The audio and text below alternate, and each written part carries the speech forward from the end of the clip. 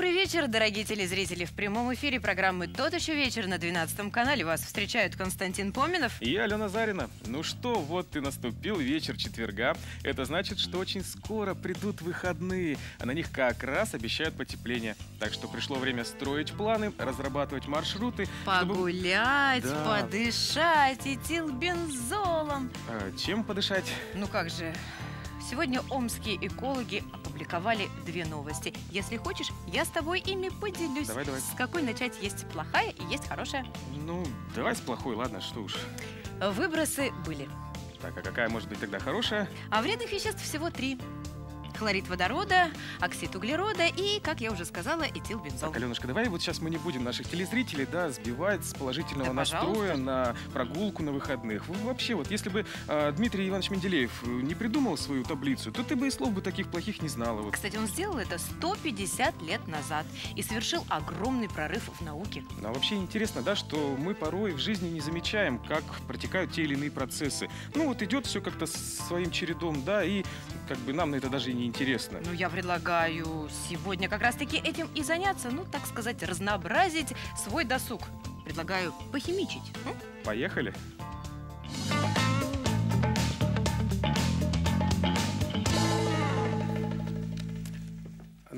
а как можно химичить без уже упомянутого мной Дмитрия Ивановича Менделеева? А, Сегодня с утра в нашей группе в социальной сети ВКонтакте, которая так и называется «Тот еще вечер», мы задали вот такой вопрос, а, который тоже содержит в себе небольшую загадку.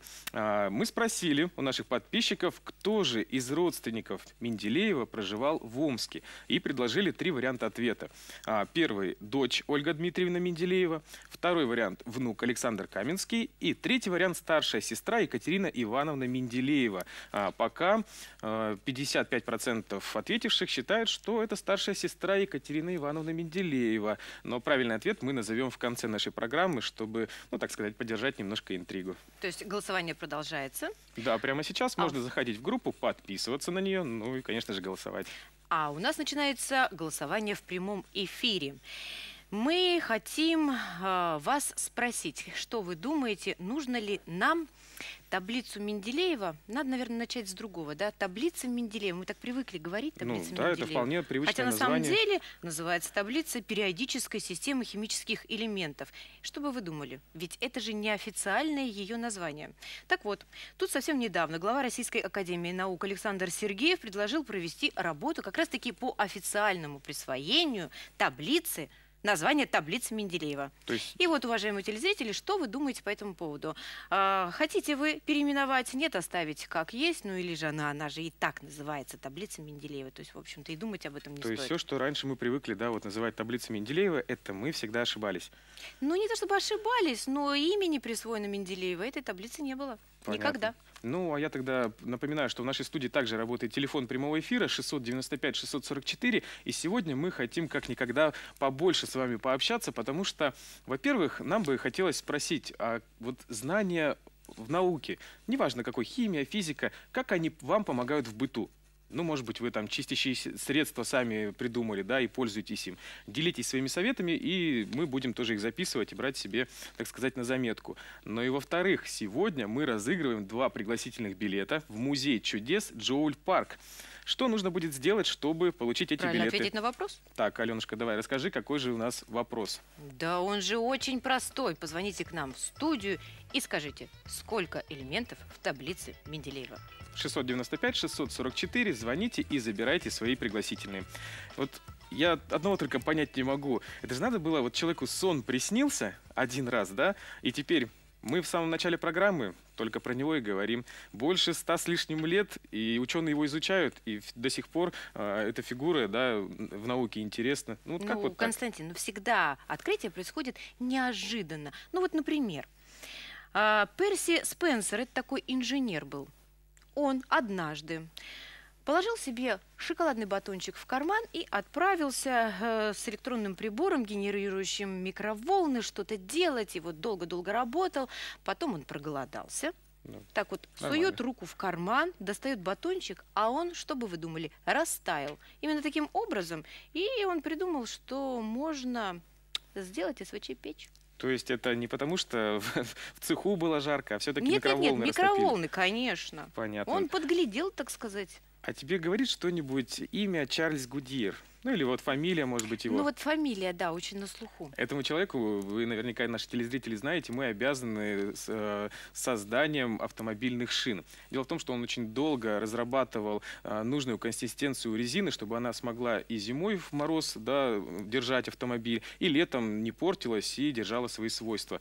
Но у него очень долго не получалось. Он даже пытался резину смешивать э, с кислотой, но никак найти нужную консистенцию не получалось. И, вот как однажды... Вышло? Ну, как, конечно же, по случайности. А, дело в том, что он положил к себе в карман резину, смешанную с серой. Совершенно случайно. Ну, а все же так делают обычно. И она у него выпала на раскаленную плиту. Ну, и она не расплавилась, а наоборот обуглилась он понял, что с этим можно работать, и вот таким способом ему удалось, наконец, найти нужные э, пропорции, чтобы резина стала э, похожа уже ну, на настоящую резину. устойчивая, да, и к летней жаре тоже. Да, устойчивая, и вот, собственно, на этих шинах мы до сих пор сейчас с вами ездим на автомобиле. А вот в 1941 году швейцарский инженер Джордж де Мистраль решил прогуляться в Альпах со своим песиком. Когда пришел домой, обнаружил, что вся шерсть у собаки в репейнике. Ну, он, конечно же, начал ее очищать. Так долго этот этот весь процесс у него занял, и что он даже заинтересовался, как же репейник выглядит, взял лупу, стал разглядывать и обнаружил, что там вот такие вот есть крючочки. Вот меня так... тоже это очень сильно волнует. Я хоть и не в Альпах со своей собакой гуляю, но вот эти, знаешь, репейник... Ну, дело в том, что Жорж до тебя изучил репейник и понял, что можно сделать застежки, ну, такие по принципу липучки. Так что ты теперь можешь просто ухаживать за своим псом, и все. Это, конечно, хорошо, но я думаю, еще бы он придумал способ, как эту липучку все-таки из шерсти собаки, собаки можно было бы вычесать. А это можешь сделать ты. Ну или, может, э, знает, как это сделать наш сегодняшний гость, которого мы тоже сейчас хотим пригласить в нашу студию. Он ученый и, возможно, уже успел сделать свое какое-то маленькое открытие. Поэтому встречаем его в нашей студии.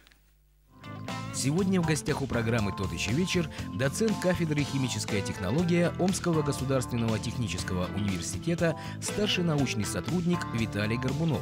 В 2011 году защитил кандидатскую диссертацию по специальности «Физическая химия».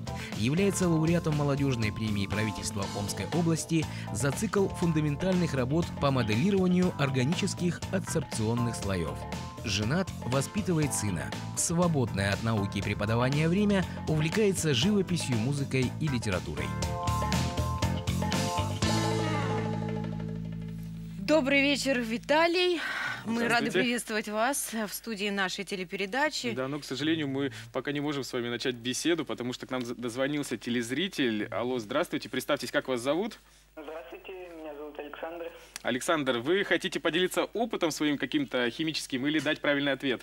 Я хочу поделиться, я хочу дать правильный ответ. Итак, давайте мы напомним, какой был вопрос. Сколько же элементов в, в таблице Менделеева?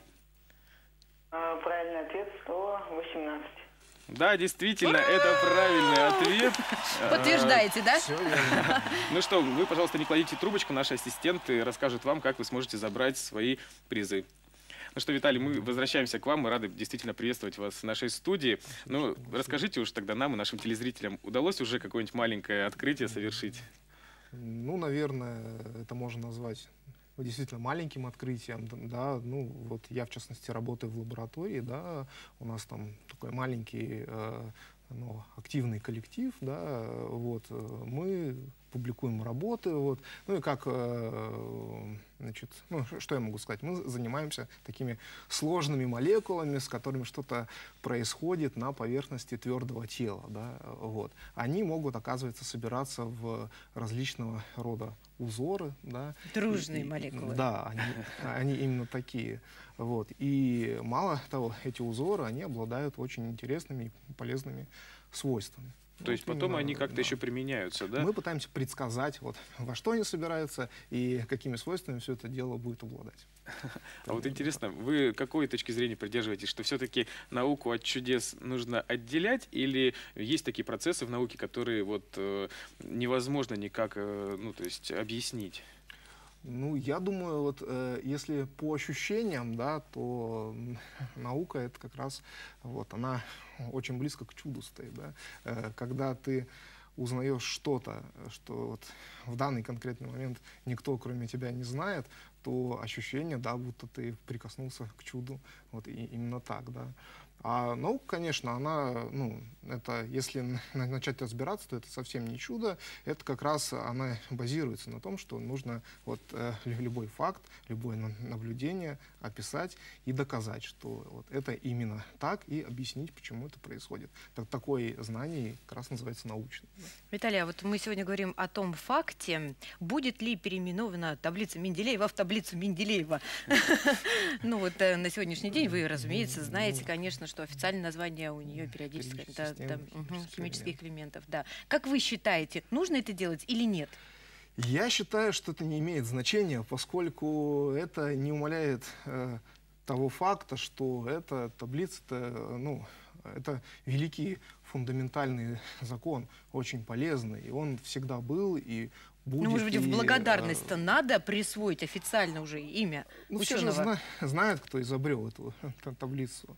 Все, как бы, что называется, в кулуарах называют это таблицей Менделеева. Э, Причем в в наших русских учебниках, если химию открыть, да, то там написано таблица Менделеева. В западных же учебниках написано периодическая система химических элементов.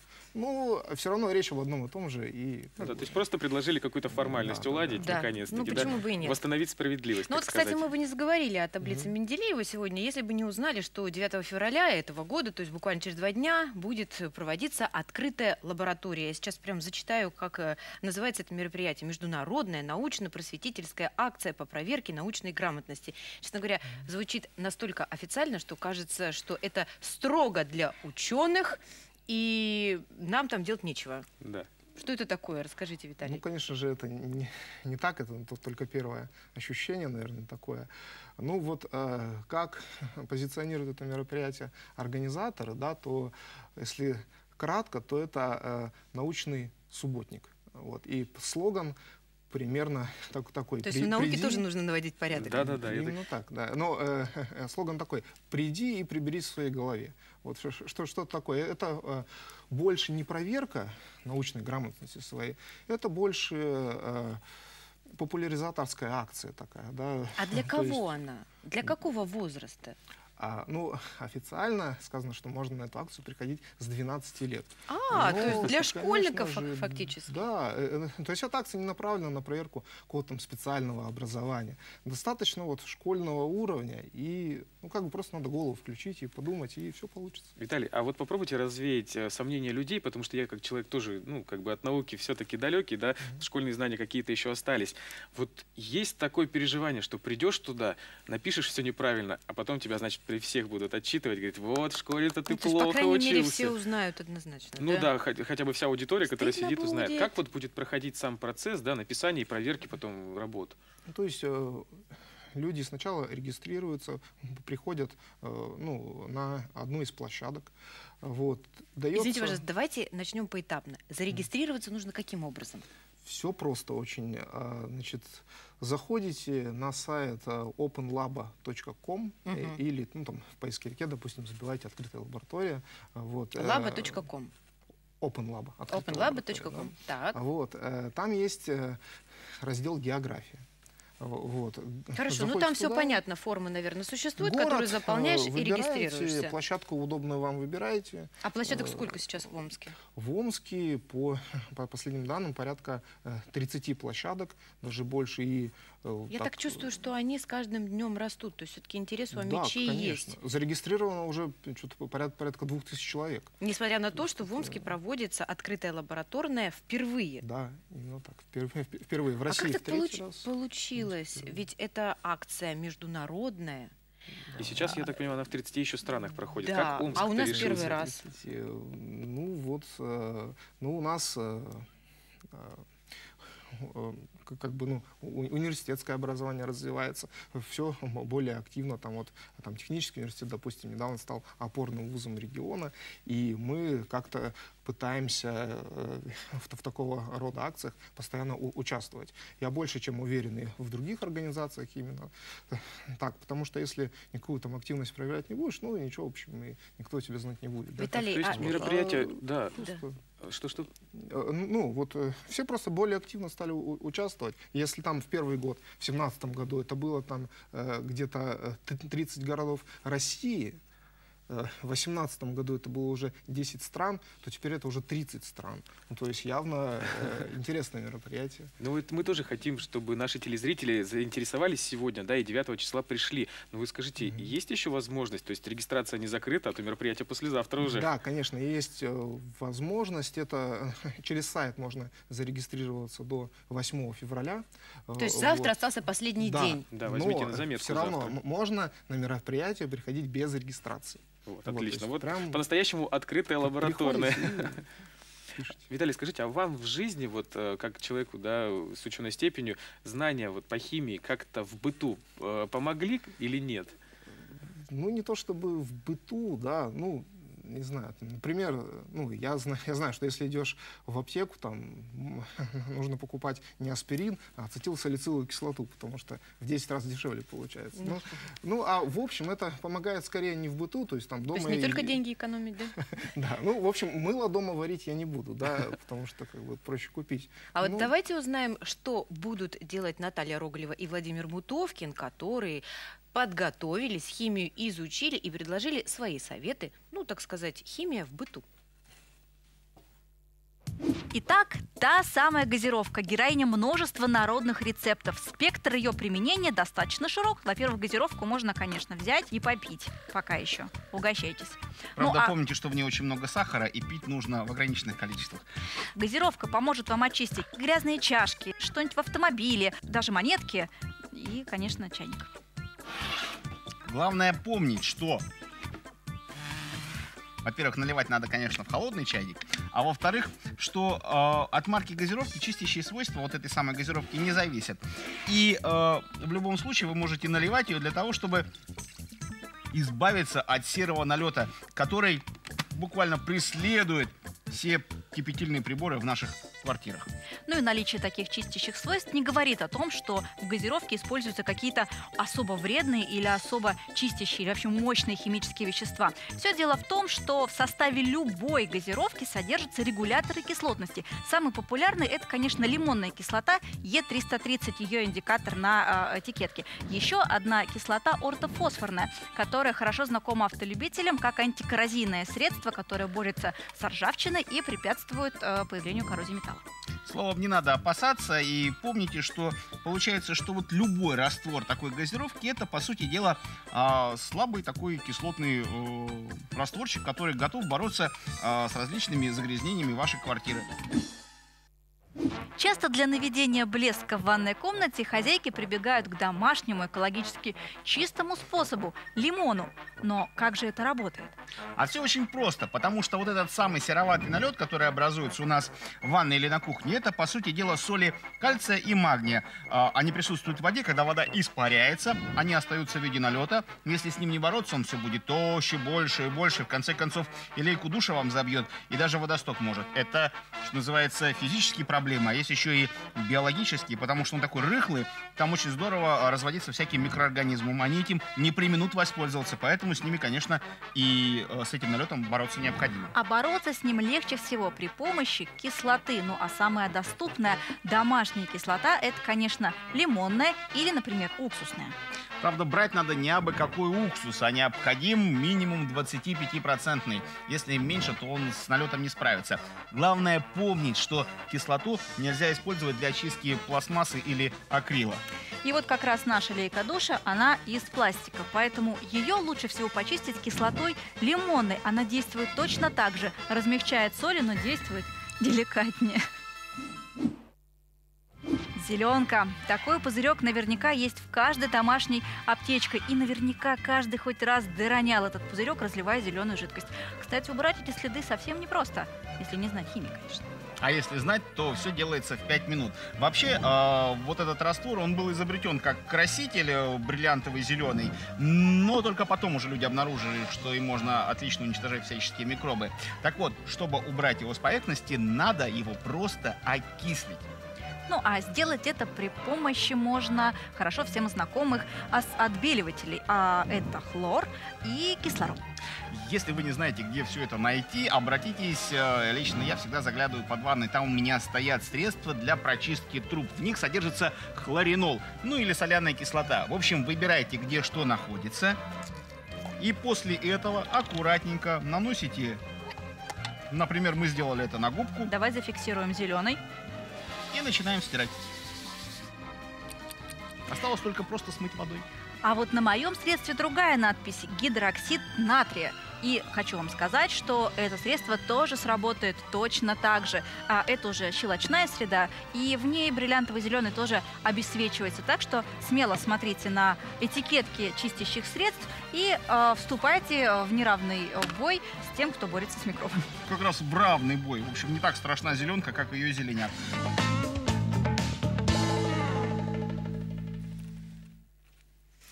Ну что ж, э, еще, Виталий, хочется спросить у вас, э, в действительности, сколько же будет вопросов на этой открытой лабораторной и по каким предметам они будут? Я так понимаю, что не только химия, да ведь? Да, конечно. Это будет полчаса на 25 вопросов по физике, химии, биологии, географии и инженерным наукам. То есть, Ой. естественно, научная такая получается, да, да? это, естественно, научная, инженерная. Ну, пример приведите с прошлого года. Ну, например, какой вопрос? Ну, мне нравится вопрос про Эйфелеву башню. Вот. Летом Эйфелева башня выше, чем зимой. Правда или нет? Так, подождите, давайте мы попробуем ответить. А, Я думаю, что да, выше Да, вы правы. есть все-таки. 24 осталось Да-да-да. вопросов. Фу, делов-то. А я хочу э, вс- встретить нашу еще одну гостью, которая присоединилась к нам. Это Наталья Кузнецова, директор музея чудес Джоуль Парк. Добрый вечер, Наталья. Сегодня вы хотите показать нам, что наука не только бывает э, практична, да, но она также и может быть для развлечения. Скажите, что вы приготовили, что за опыт и что хотите нам показать? Я хочу вам сегодня показать два опыта. Один химический, другой физический. А, Химический опыт у нас будет связан с щелочами и индикаторами. Так, давайте уже Давайте. начнем. Так много колбочек, это все водичка. вода, вода. Да, это водичка, обычная водичка. В нее мы добавляем глюкозу. Глюкозу используют в пищевой промышленности и в медицине. Мгм. Вот, она очень у нас легко растворяется в водичке, водичка тепленькая. И добавляем гидроксид натрия, о котором сейчас много говорили, это щелочь. Вот как раз можно трубы ей чистить. Перчаточки как раз для нее дело, чтобы не получить химический ожог. Так, размешивается, размешивается. Да, все у и... нас хорошо размешалось. Теперь самое интересное. Мы добавляем индикатор. Он называется индиго кармин. И он- Кармин? Да. он Красиво будет как. Красиво. Так, сейчас мы чуть-чуть вот так сделаем. Совсем чуть-чуть нужно Чуть-чуть нужно, да. Я вот Ты, Аленушка, близко не подходи, а то сейчас как реакция пойдет. Вот такой у нас Так. насыщенный синий цвет получился. И сейчас мы его добавим в подготовленный раствор. Как вы думаете, какой у нас получится цвет? Красный. Давайте пробовать. Я не угадала. Зеленый. Вот такой у нас химический светофор получается, потому что кармин соединяется, окисляется э, за счет кислорода. Сейчас немножечко помешаем. У нас же светофор. Ну, я так думаю, что дома я это сделать не смогу. Ну, Ну, Просто у меня перчаток нет. таких нет. Скорее всего, да. А Мы можем пока его оставить и вот посмотреть, понаблюдать за ним. А я пока быстренько Он подготовлю. что, как Он хамелеон будет да, менять менять цвет? цвета. Даже так? Да. Виталий, а я неожиданно. вот вас, пока Наталья готовится к следующему, хочу спросить, а есть какое-то практическое применение вот к, к такому светофору, или это все-таки такой элемент шоу? Да нет, это же просто э, прекрасный опыт. А Он вот-вот, всегда я же говорила, красный будет. Красный, вы угадали. да. То есть он еще будет меняться? Да, конечно. Это не просто так интересно. Так, мы сейчас готовимся ко второму Ко опыту, второму опыту. физическому. Он по физике. Это горячая вода. Это горячая вода, тоже совершенно Да-да-да. обычная, из-под крана можно ее налить. А, и поговорим мы о углекислом газе. Так, А, что это за шарики? Вот такой твердом состоянии. То есть Лёд. мы знаем, да, что он бывает в твердом состоянии, в газообразном обычно, но а, его при низких температурах, где-то минус э, 79 градусов, его охлаждают. Может, Прохладненько. Не-не, я, я... Вот О, так можете. он сразу Ой, превращается в газообразное Волшебница. состояние. Да. И вот как раз за счет этого, э, за счет того, что он не находится в жидком состоянии, а из твердого сразу переходит в газообразный процесс, называется сублимация, это очень-очень красиво. Вау! Вот такой у нас насыщенный белый пар, потому что очень много углекислого газа, он сконцентрирован Как на дискотеке. Да-да-да, отличный такой набор для вечеринки. И Можно, светофор да. есть вместо светомузыки, и, собственно, дым-машина тоже готова у нас. Спасибо, Наталья, Вот такой спасибо. переход у нас из твердого состояния сразу в жидкое. Очень красиво. Ну что, Виталий, может, прокомментируйте и второй тоже опыт? Ну да, это вот классическая э, демонстрация процесса сублимации, да, когда твердое вещество, минуя жидкую фазу, Да. сразу превращается в газ. А мне Ну, еще видно, очень звук нравится. Красиво смотрится. Бурлит, Это бурлит. какой-то водопадик, что ли, да? Журчит ручеек. Ален, я Очень предлагаю, эффектно. что нам уже можно с нашими гостями, да, вот, э, подвести итоги сегодняшних Да, наших голосований, потому что они тоже связаны вот с такими химическими реакциями, вообще с химией в том числе.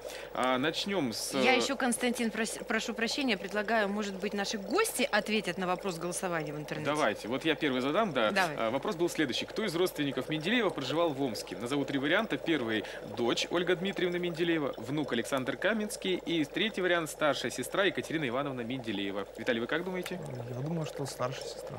Так. А вы, Я тоже думаю, что старшая Ну, сестра. это действительно был правильный ответ. Старшая сестра Екатерина Ивановна Менделеева, которая по мужу носила фамилию Капустина, кстати. Вот. Ну и наши телезрители, подписчики тоже ответили правильно. 55% дали этот ответ. Мгм.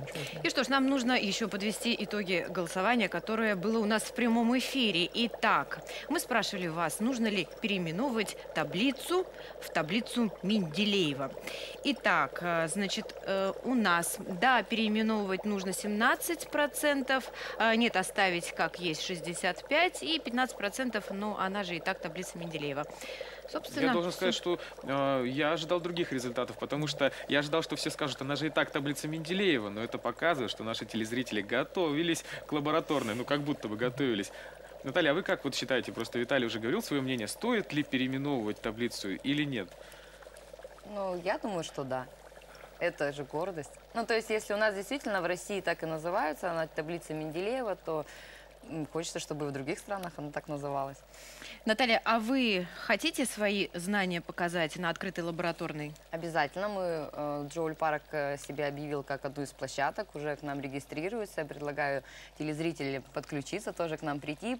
После проверки знаний мы вам покажем научное шоу. И можно на Виталий, вы случайно не на этой площадке посмотреть. Завлаб? Нет, нет, я за ФАП э, в техническом университете и приглашаю также всех принять То есть у вас участие. еще есть на вашу площадку Да, места? обязательно. Э, Всех приглашаю. В 13.00 начало нашей площадки. У нас в Что ж. 10 утра. А, то есть разное время. Да. Нужно Да, это, уважаемые телезрители, учитывайте. Так, регистрируйтесь. Завтра у вас на это есть целый день. Спасибо вам огромное за то, что пришли к нам. Спасибо, всего доброго. до свидания. Ну что, Аленушка, мне кажется, что в конце нашей программы мы можем себе э, твердо сказать, что все-таки Я думала, ты скажешь поставить пятерку. Пятерку поставить нам должны наши сегодняшние гости. Ну а наши телезрители наверняка тоже отметят, что мы сегодня поняли все для себя, что наука, она не только полезная и практичная. Она красивая. Ну и, конечно же, еще и, очень интересная. И мы надеемся, что у вас тоже появилось желание каким-то образом, а, Присоединиться. ну, во-первых, к открытой лабораторной. Во-вторых, просто попробовать дома какие-то из опытов, которые вам предложили наши коллеги Наталья Роголева и Ты Владимир хотел Бутовкин. сказать, по, по крайней мере, что-то почистить, попробовать, да? Да, ну вот, кстати, зеленка, я никогда не думал, что ее, в принципе, можно каким-то образом оттереть. Ну что ж, мы передаем слово. В понедельник вас в этой студии будут встречать Наталья Змага и Андрей Крылов. А на этом наша неделя завершается. С вами были Константин Поминов. И Алена Зарина, поэтому до новых встреч, мы будем ждать. Пока!